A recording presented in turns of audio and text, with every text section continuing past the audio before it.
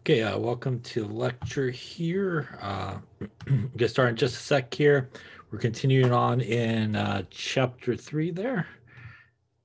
Make sure you do put here in the chat box. Remember, we're going to do some lecturing and then uh, we will stop early and we will take the quiz at that point around probably around 6.30 there.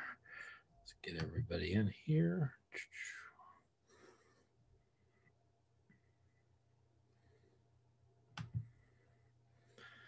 Okay, those just coming in. Again, uh, we're going to continue on lecturing.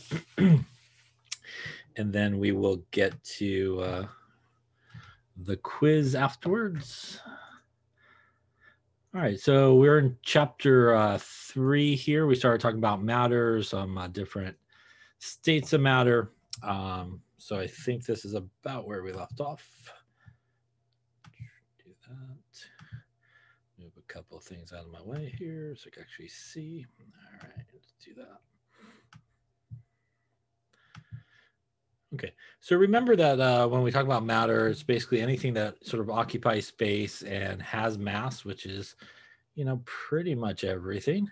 Um, and matter, as we saw sort of in the, the last slide before this, can be broken up into several sort of categories that we're going to talk about. Could have pure substances uh, that can be elements or compounds.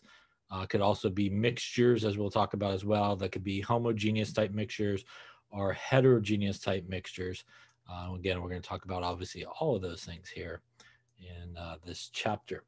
So let us then talk about sort of pure substances. A pure substance is basically any substance that is basically, you know, one particular uh, substance by itself. Uh, it's a type of matter with a fixed or definite composition. Uh, it could be an element, um, it could be a compound.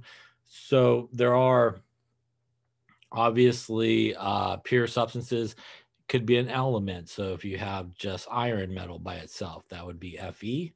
And if you had just solid iron by itself or solid copper by itself, that is a pure substance. There are certain elements that do come as diatomic molecules like hydrogen gas, oxygen gas, fluorine gas, uh, chlorine, bromine, um, iodine, nitrogen. These are basically how these guys come, and these are all elements. Um, if you just had these guys by themselves, that would obviously be a pure substance. Uh, these guys are what are referred to as being diatomic molecules. So again, what that means is um, something like oxygen is basically two oxygen atoms bound together, something like hydrogen, two hydrogen atoms bound together. Um, a pure substance can also be a compound. So if you have something like water, H2O, if you had just water by itself, uh, that is a pure uh, substance. Nothing else mixed in there. Two hydrogens, one oxygen basically makes up water there. Um, you know, you could have something like salt, for example, sodium chloride, which is NaCl. Sorry, I just got to wait for something to get out of my way here. There you go. Chose the wrong spot to write. Get that out of my way. Uh, so something like NaCl, which is basically salt, sodium chloride. It's a pure substance if you had it just by itself also would be a compound. So uh, these guys are compounds. And I, I, believe we talked about it, sort of the difference between a, a compound and a molecule. Remember, a molecule is basically just a, a general definition of two or more atoms together. So that's why H2, O2, F2, these are all molecules. Um, water is also a molecule as well because it basically has two hydrogens for every one oxygen. But water and sodium chloride, these guys are also compounds because a compound is the combination of two or more, oops, two or more atoms of different elements. So I had a quick question, Professor. Can a compound uh, and a molecule be the same? It, it, it can. Uh, so, right? Yeah, it can. So, uh, like what we're talking about right here, water water meets the definition of a molecule because it's basically two or more atoms together. So, you know, it basically has, you know, uh, three atoms that are there, two hydrogens and one oxygen. It is also a compound because it actually meets that definition because it's two or more elements together. So you've got both oxygen and hydrogen that are present.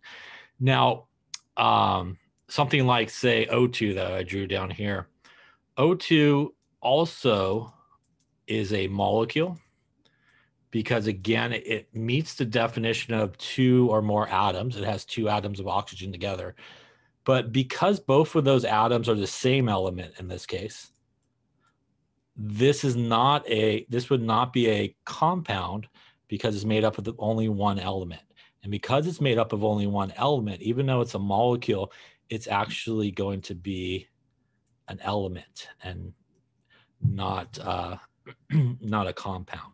So a compound is something that has at least two or more elements together. But a uh, a molecule is really you could think about a molecule as almost like a just a basic definition of just simply two or more atoms together, and those atoms can be the same, which is how we get molecules that are elements or they can be two or more atoms of different elements, which is how we get things that are also known as compounds. That sort of makes sense. Other questions on that? Yeah, so uh, a compound can be a molecule, and a molecule can be an element, but you cannot have an element that's a compound, if that sort of makes sense. Again, because the definition of a compound, it has to be at least two or more different elements that are there. Other questions on that? Okay. So a compound, as, as I've been talking about, as I said on the bottom there, again, that's the key distinction between that and a molecule is that it does need to have at least two or more elements involved, but you definitely can have a compound that is a molecule. So here's some examples, obviously, of some elements, copper, lead, aluminum, pretty much anybody you see there on the uh, periodic table. Um, obviously, our compounds here, these are all meet the general basic definition of a compound. We have hydrogen and oxygen, two or more elements, sodium and chlorine, two or more elements, carbon, hydrogen, and oxygen, three obviously elements, and then obviously our water that has two or more elements. I think we talked about that, but this is the way that we typically do write chemical formulas. Uh, the little number, which is the subscript, goes to the element to the left. And that means in hydrogen peroxide, there's two hydrogen atoms for every two oxygen atoms that are present in that particular case. And just like here in sugar, there would be 12 carbon atoms for every 22 hydrogen atoms for every 11 oxygen atoms. So each of these can be classified uh, as a compound most of them can also be classified as a molecule, although some people would say probably this one, maybe not because it's ionic. Um, but this guy here, this one, and this one could definitely also be classified as a molecule.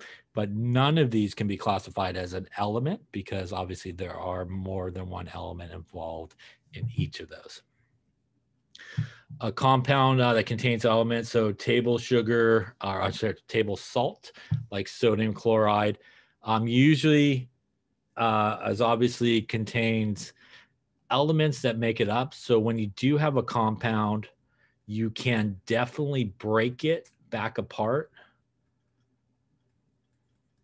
into its elements but once you get something sort of in its elements, that's as far back as you could go. So you can't break it apart any further than that.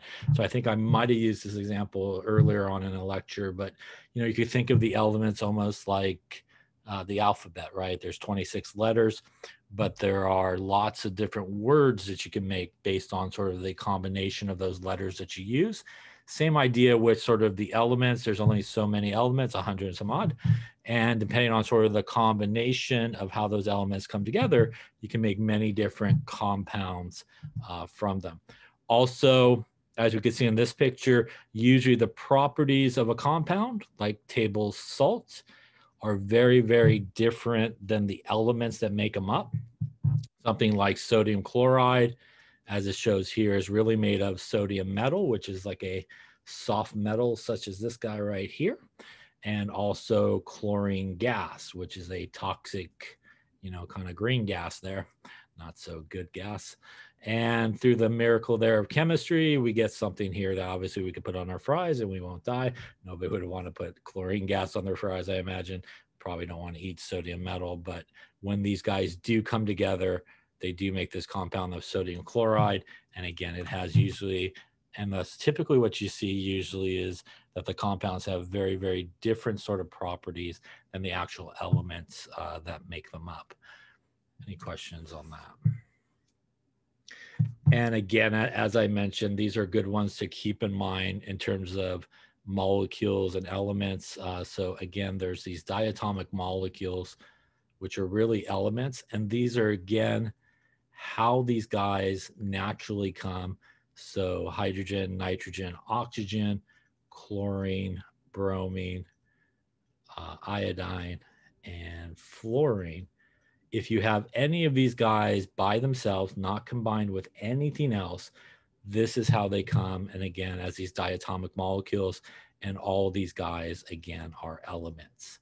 So if somebody says, hey, hmm. you have elemental oxygen or, you know, molecular oxygen, it is not just O, it actually comes as O2. And again, this is naturally how it it always comes uncombined by itself, basically as two oxygen atoms, basically in a gas form, uh, flying around. Any questions on that there? So when we take these sort of pure substances, which again can be either be elements or compounds, we can take two or more pure substances and basically put them together. And when we do that, if we mix two or more pure substances together, they will make a mixture. So a mixture really is that combination of two or more pure substances. And the, the important part about sort of a, a mixture is when they come together, they actually still maintain their identity.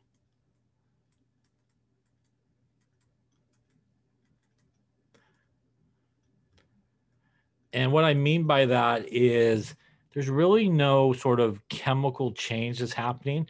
When we make mixtures, it really is more of a physical type change. So, a very easy example of that, again, if we take some water, which is a pure substance by itself, and if we take sodium chloride or salt, basically, also by itself is a pure substance. But if we put both of these together, we basically get salt water. And when we make salt water, that is a mixture. That is actually a type of mixture, as we'll talk about, which is known as a homogeneous mixture.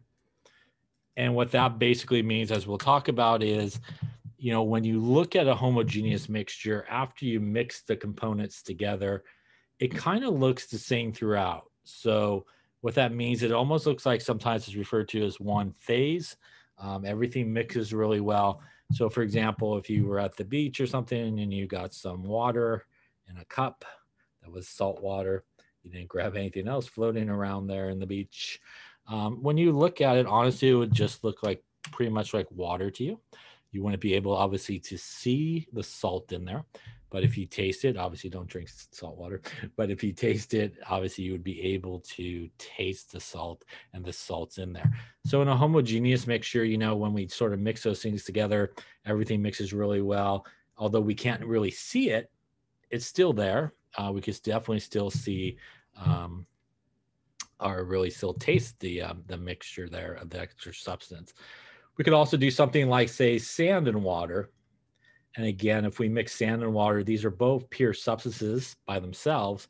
But when we mix it together, we get sand and water.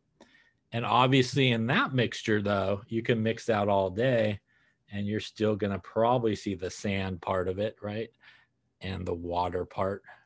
And as we'll see, that is what is known as a heterogeneous mixture.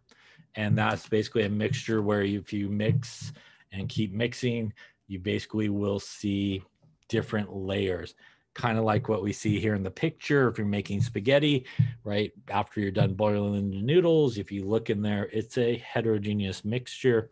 You can see the noodles floating in there. You can also see the water that's still in there. And you could separate those things out uh, by using a, uh, a little guy here, a colander there to uh, basically separate it. And what happens right when you pour this through, all the water comes through the bottom and if you wanted to, you could collect all the water as it comes through. And then obviously the solid noodles would be caught up on top. And you're able to get back both the um, noodles in their original form. You can also get back the water in its original form as well. So again, we could really retrieve back both of our parts of our mixture by physical means. So when we talk about physical means, that's something like boiling, freezing, you know, those type of processes uh, that allows things to be separated out. You could even do that for, for example, the salt water here. You may not think so, but if you took, for example, the salt water and you kind of put it into a closed environment, maybe connected by a tube here. Very bad drawing here, but we'll assume that There we go. And we'll keep this tube really cold between the two. And if you started to heat up the salt water, right, when you start to heat the water, the water part's going to start to evaporate. So the steam will basically come up. It's got nowhere to go, so it's going to follow the path. And once the steam hits that really cold sort of tube between it, it's going to go through condensation. If you remember, condensation is where gas goes back to liquid and we basically will get the water come out on the other side. And if we keep heating the left hand side, eventually we'll get to a point where all the water will pretty much evaporate off. And what you'll be left with is kind of like a salty residue in the beaker. And at this point, through this process, just by heating it, cooling it, we were able to get back both the water and the salt. And again, and when you look at something like a homogeneous mixture like salt water, you can't really see you know you can't really see the salt but it is still there so there's been no chemical reaction just a physical reaction or physical change and a reminder that a physical change basically means what we start with and what we end with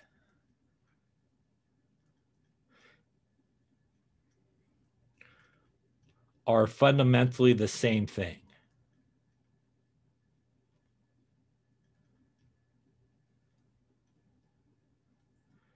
it may just appear a little different. Maybe it's a different shape. Uh, maybe it's dissolved. But fundamentally, what we start with and what we end with is still the same thing. And that's different than a chemical change. In a chemical change,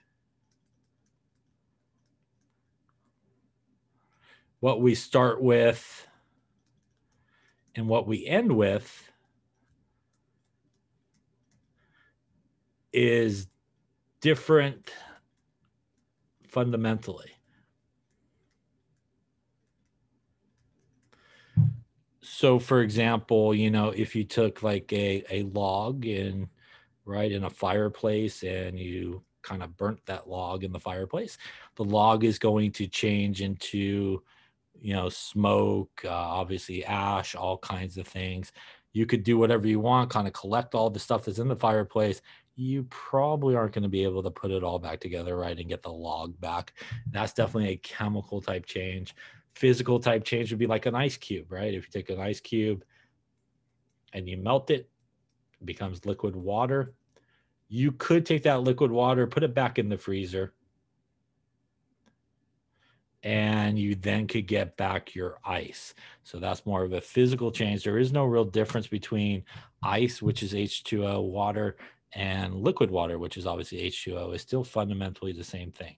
So in a chemical change, we start with something and we end with something that are fundamentally two different things.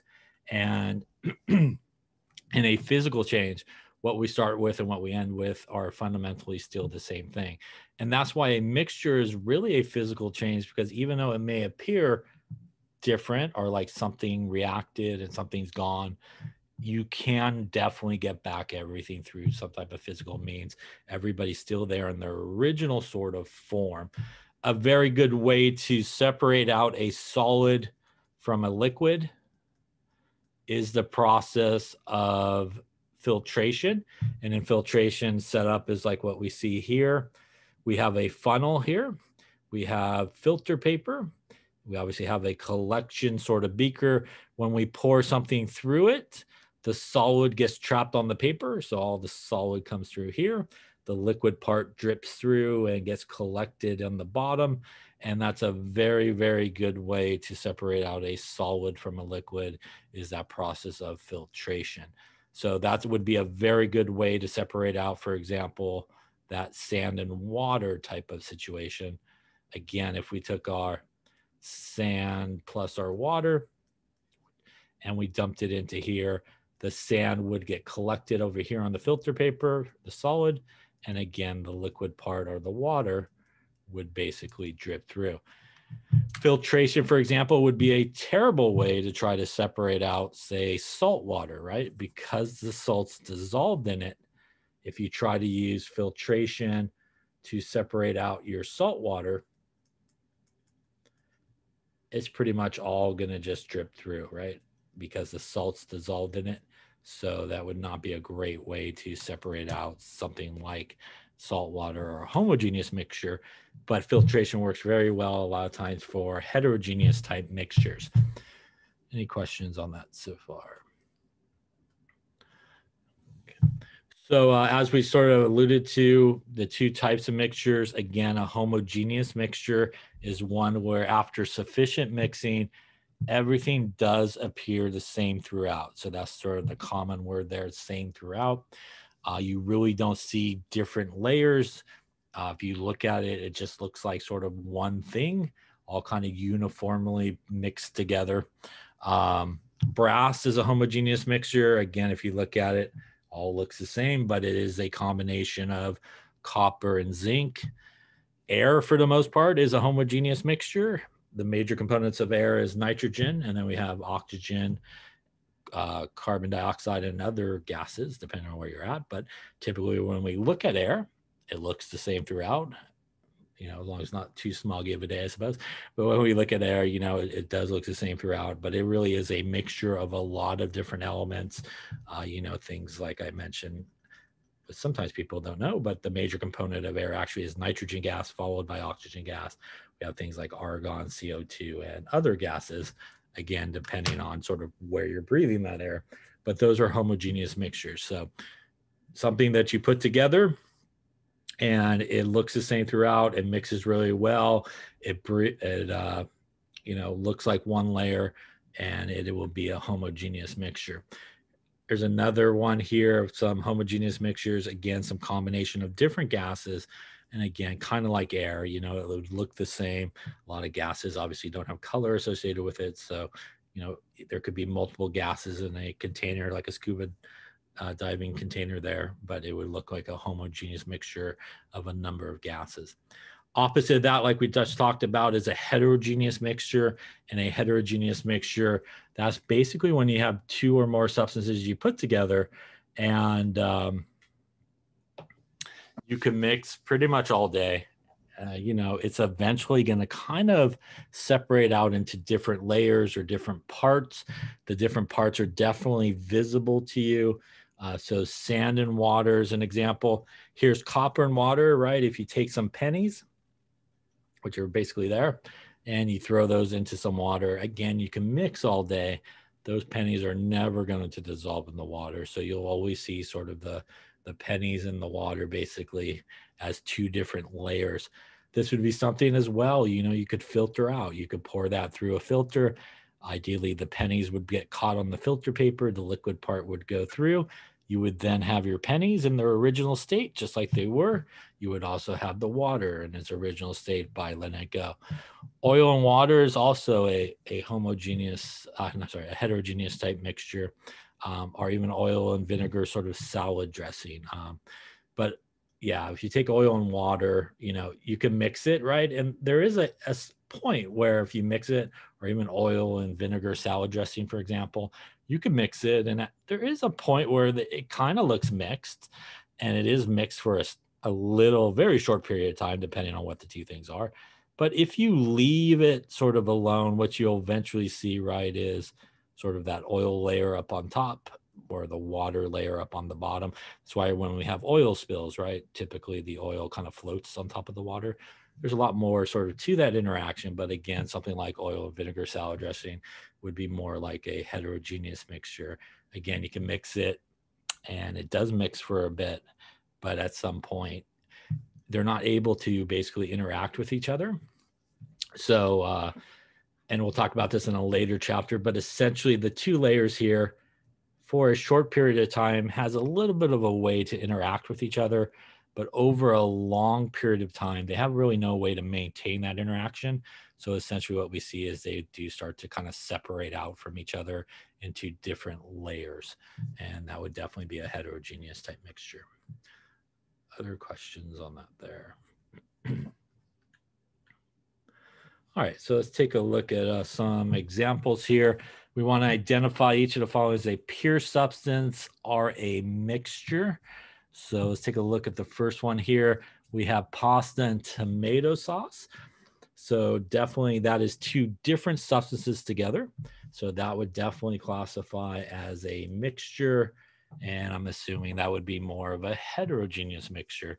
You usually could see your noodles under your sauce even if you put a lot of sauce on it, I suppose.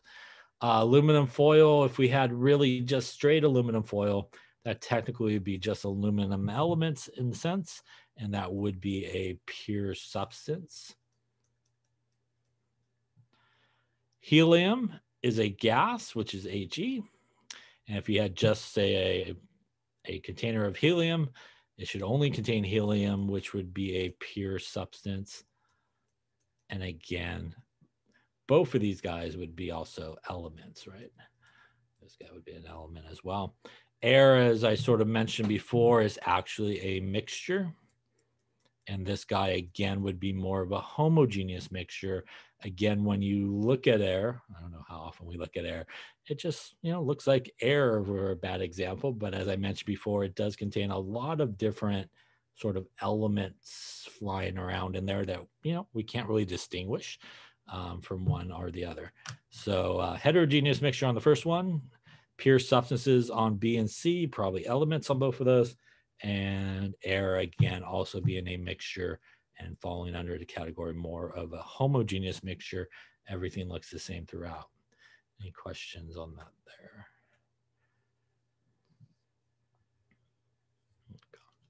Uh, so here we're looking for either homogeneous or heterogeneous mixtures. Hot Fudge Sundae, that is a delicious heterogeneous mixture. Uh, obviously, if you have a nice sundae going on there, uh, you probably got ice cream, whipped cream, hot fudge, some peanuts, maybe, some cherries, and all that kind of stuff. So that's obviously a heterogeneous mixture. Baby shampoo um, is a homogeneous mixture. You know, usually when you look at something, say like a shampoo, it should kind of look the same throughout, I would imagine. Usually, like baby shampoo is like, uh, you know, almost you could kind of see through a lot of it and stuff like that. Uh, sugar water. If we put sugar into water, we would expect the sugar to dissolve. So, kind of like our salt water, it would probably just look to us like eh, it's just water in there, right? And there is definitely sugar that's dissolved in there but again we probably wouldn't be able to see it. So that would again classify as a homogeneous mixture. Peach pie i'm assuming on that you got some crust you got some pieces of peach in there probably some other good stuff i imagine and that definitely means that you're probably seeing different layers and that would be a heterogeneous uh, mixture any question on the difference between homogeneous or heterogeneous mixtures? And again, no matter which type of mixture you have, you could always separate out into the pure substances. So no matter what type of mixture uh, that you have, it could always be separated out by physical means into the pure substances. So again, two ways that we sort of talked about to do that, very common. Again, filtration, a good way to do a solid from like a liquid. And the one that I drew there, which is distillation, uh, is a good way to separate out like a homogeneous mixture. And the one I'm talking about is the one where we had the salt water in the tube where we heated it up and it was all enclosed to the other side with that little kind of tubing that's cold. So that's basically distillation when we're doing, doing this process. Again, by heating and cooling, taking advantage of boiling points, melting points, and freezing points, it's a very good way to separate out, again, something like a homogeneous mixture um, where you can't really see those different parts. Any questions on any of that stuff there?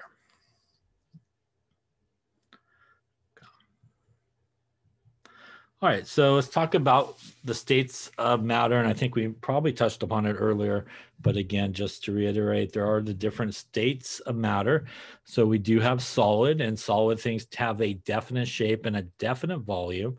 And for the most part, as I might have drew earlier, we typically do see everybody packed in pretty tight to one another in the solid state.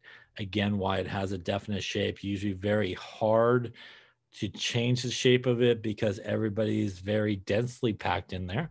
An exception of that would be ice, again, not super densely packed in. Um, but most things in their solid state are packed in a lot closer than in, they say, their liquid state than obviously in their gas state. Liquids, on the other hand, as we've also talked about, again, uh, fairly in there, pretty close to each other, a little bit more room for movement. Again, this is why they're able to sort of pass each other. And that's why, obviously, as we can see here, when we know about liquids, we do think of liquids as uh, basically more fluid in nature. It has a definite volume, but not a definite shape. So, what that means is obviously, as we can see in these two pictures, you know, if we fill a liquid in this glass here, it will take the shape of that glass. If we fill it into this glass, it will take that shape. I think there's a vase sitting back there. You know, if we put the liquid into one of those kind of silly straws, right, it will take the shape of the silly straws. What it means about having a definite volume is if you had five milliliters of, say, water, and you moved it from a trash can to a cup or a cup to a beaker or a beaker to a straw and you really were not a klutz and spilled anything, you should still have five milliliters as you go from one place to the next. Again, uh, you should have that sort of constant volume. And again, unless you're a klutz and you spill it all over the place, then you might run into problems. The last state of matter is gases. Um, and again, when we do reach sort of that gas state, we pretty much have everybody broken apart from one another. They're flying around, they're really banging into the walls of, say, the container. That's really what causes um, the pressure associated with gases, as we'll talk about in a later chapter. They have an indefinite shape and an indefinite volume. They typically will fill the container uniformly, and that's because they are flying around. So, as they're flying around, they're constantly basically filling that container and we expect it, you know, to be sort of fully filled. You know, so when we think about, you know, a balloon, there's gas in there and it is flying around the entire container and filling it uniformly. And that's why also when we get to sort of the gas state, we'll talk about the idea that we usually look at things in terms of gases in terms of their volume um, as the volume of the container they're in, not necessarily the volume of the actual gas, but the volume of the container in which they are in. We talked about those transitions as we go from solid to liquid to gas. This is sort of a summary table, but a reminder as we go right from solid to liquid, that is the process of melting. As we go from liquid to solid, that's the process of freezing. Happens at the same temperature As we go from liquid to gas, that's evaporation or vaporization. Going from gas back to liquid is condensation. Also happens at the same temperature, which is the normal boiling point. And I think we also talked about the idea of going solid directly to gas, skipping the liquid part. That is sublimation. And going from gas directly back to solid, skipping the liquid part, which is deposition. And we're going to talk later in this chapter about sort of energy that's related to those things. But again, this table from your book here has, you know, a lot of the properties that we just talked about. Again, solid being very close to each other. Um, not a lot of room for movement, liquid a little bit more room for movement, and then obviously gases are flying all around, really not connected at all. Any questions on the different sort of states there?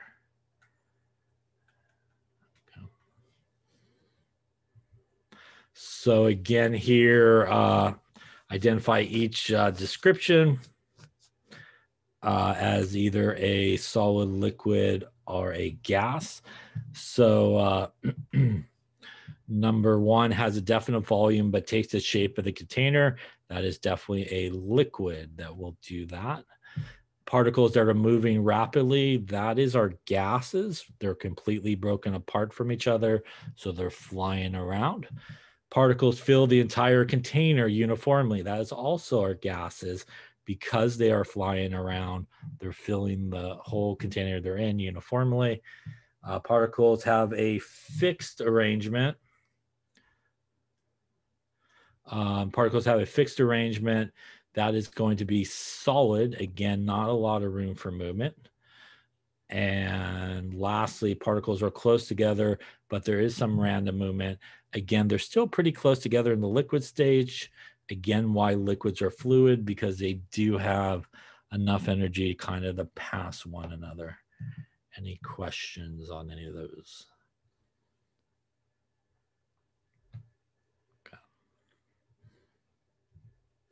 Uh, and again, identify the states of each of these guys. A tablet obviously would be a solid. Eye drops are usually liquid in form. Sometimes they're kind of a suspension, may have some other stuff in it, but usually liquids. Uh, vegetable oil is obviously a liquid as well. A candle is a solid. And the air in the basketball, not the basketball itself, but the actual air inside is a gas that's flying around. And again, that's why when we fill something like a tire, a, a uh, basketball, or whatever it may be, right, we fill it to a certain amount of pressure because at some point, as you're filling it with air, the air guys are moving around, moving around, moving around, and they're colliding with the walls of, say, your basketball, or whatever, causing pressure, and obviously with each other until you get the right amount of pressure to allow something like the basketball to bounce or your tire to not look flat. Any questions on the different states there? Okay, okay uh, see here. Just to finish a little bit here, uh, we sort of jumped ahead a little bit here earlier, but again, uh, there are certain properties which are basically known as physical properties. And these are really characteristics that are measured without changing the identity of a substance. So when we talk about physical properties, they usually entail when we talk about physical changes. So the idea behind anything sort of physical, either properties or changes, is really this that what we start with and what we end with are still the exact same thing. So things like shape, um, things like state are very common physical properties. Solid, liquid, gas. Is the thing a solid? Is it a liquid? Is it a gas? Boiling points, freezing points are common physical properties. Density, the color of a substance, also a physical property. Um, and here's an example, for example, of copper. Here are all physical properties. It's reddish orange, it's shiny, it's a good conductor of electricity. It's solid at 25 degrees. This is the melting and boiling point. So these are all properties, for example, of copper that doesn't involve sort of changing what copper is. And that does lead us into sort of what I talked about earlier. A physical change is really when we sort of change some aspect of a substance, but we do not change it into something new. So the most mm-hmm. common example here is water. You know, if we have ice or we have sort of liquid water on the ground, or if we have steam as we're boiling, even though they may all look different to you, they are all fundamentally still the exact same thing. They are still all fundamentally water, H2O. H2O is solid water, which is ice, liquid water are gas, which is sometimes referred to as steam, and they all fundamentally are water.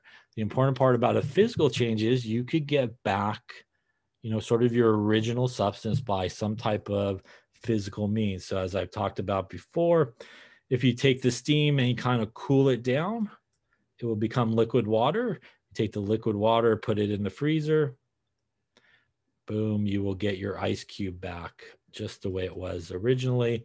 And again, by f- basically playing with um, energy and stuff like that, we're able to get back our original substance no matter what. If you take a peanut and you crush it, you still technically have a peanut. It's just all crushed. It's still fundamentally a peanut. It just happens to look different. And that's the importance about a physical change. What we start with and end with, again, exactly the same thing, just may appear different. Any questions on physical changes? If you had a wrinkled shirt and you ironed it, it's still a shirt. It just doesn't have wrinkles in it anymore, right? It's still fundamentally a shirt at that point. Again, uh, as we were talking about a little bit before when we were talking about the mixtures, something like salt water. Um, you know, when we dissolve salt in water, it looks like it's gone. It disappeared, but it's still there. And we could evaporate off the water and get back the salt, let it dry out, and you would have the original salt there. And that's why when we talk about sort of a mixture, it's a physical change when we do something like that because those guys are still there in their original forms. We can usually get them back by some type of physical means. So there has been no chemical change uh, that basically has occurred. And so here, if we look at each of these, we want to classify these as either a change in shape or a change in state. So if we chop up a log, it's still a log. We just really changed the shape of it, right? It's smaller pieces of wood, basically. Water boiling in a pot, we start with liquid water in that case, ends up as steam. And that is a change of state. Ice cream melting, that is also a change of state. You could technically take your melted ice cream, put it back into the freezer, you would get your ice cream back in its original state. Ice forming in a freezer, same idea. You usually start with liquid water going to solid, right? And that is a change in state. And cutting up dough into strips, that is a change in shape, right? They're all still fundamentally, you know, cookie dough basically, and just different shapes. Any questions on that? Okay, uh, so what we're going to do is I'm going to stop here right now and